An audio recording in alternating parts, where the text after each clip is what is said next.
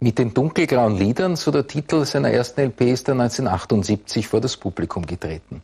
An einem dunkelgrauen Novembertag hat Ludwig Hirsch seinem Leben selbst ein Ende gesetzt. Im Wiener Wilhelminenspital, wo er wegen einer schweren Lungenkrankheit behandelt worden ist. Sein hintergründiger Zugang zur Kunst spiegelte sich in seinen Liedern wider, aber auch in seiner schauspielerischen Tätigkeit, etwa 2004 in Reichenau in Tschechows Untergangskomödie Kirschgarten. Ludwig Hirsch wurde 65. Wir haben mit Wegbegleitern gesprochen. Ja, ich werde singen und ich werde lachen und ich werde, es gibt's nicht schreien. Er hat viele Menschen zutiefst berührt mit seiner leisen Poesie, aber auch mit seiner Verletzlichkeit und Nachdenklichkeit. Die Zuneigung des Publikums war Ludwig Hirsch bis zuletzt sicher. Natürlich schmeichelt es mir, ne? wenn man nach 30 Jahren immer noch gefragt ist, unter Anführungszeichen. Das schmeichelt schon natürlich. Sein unerwarteter Tod löst heute in seinem Freundeskreis große Betroffenheit aus. Entsetzen.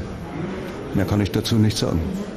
Es ist einfach furchtbar. Es ist einer, einer, einer der wichtigsten Menschen in meinem Leben gewesen. Ja, nur für sie schlagt mein Herz.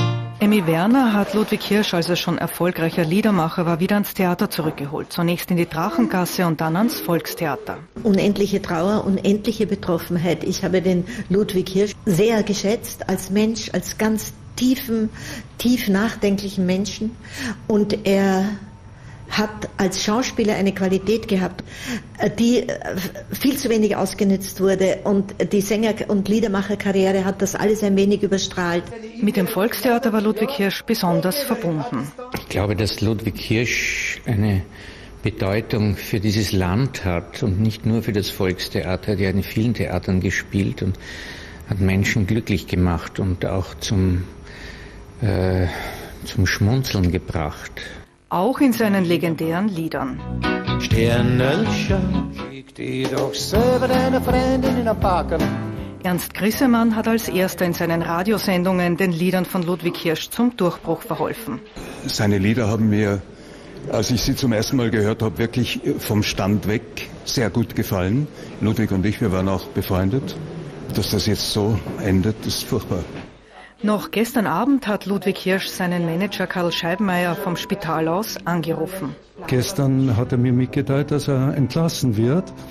Und äh, wir haben uns beide gegenseitiges Glück gewünscht und gute Besserung. Und das waren die letzten Worte. Seine Worte, die er auf unzähligen Aufnahmen hinterlassen hat, werden wohl noch lange weiterklingen.